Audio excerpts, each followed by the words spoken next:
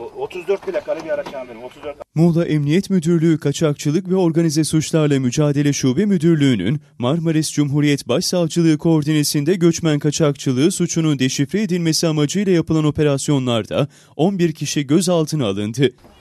Ha içerisi dolu. Şunu açın bakayım. Dur dur dur. Minibüsün şoförünün, minibüsün şoförünün ismi.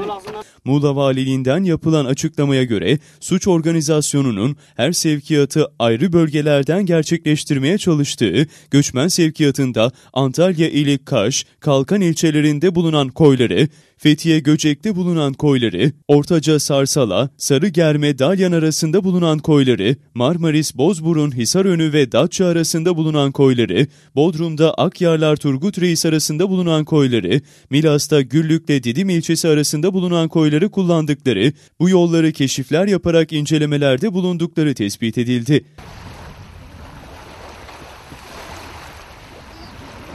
Sürdürülen çalışmalar sonucu suç organizasyonunun faaliyetleri tespit edilerek gerekli deliller elde edilmesinin ardından suç organizasyonunun çökertilmesi amacıyla geçtiğimiz çarşamba günü Bodrum, Fethiye, Dalaman, Ortaca ilçeleriyle Antalya ilinde düzenlenen eş zamanlı operasyonlar neticesi TY, YY, AAK, HG, MF, MK, Sİ, EÜ, EK, SK, İT isimli 11 şüpheli yakalanarak gözaltına alındı.